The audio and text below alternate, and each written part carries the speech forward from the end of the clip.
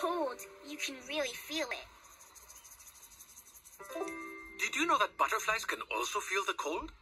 That's how they know it's time to fly somewhere warmer. Hmm, I think a song is coming. I can feel it. Meet Andre Green, he's a scientist, you see.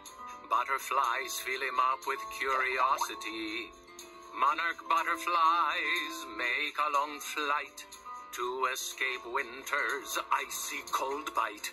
They go every year around the same time, flying together, heading for sunshine. But how do they know when they should go? Do they follow the birds or wait for the snow? Ask a question, follow it through. You'll learn things amazing and new. Andre Temperature is what it's about. They feel the cold to know where to be.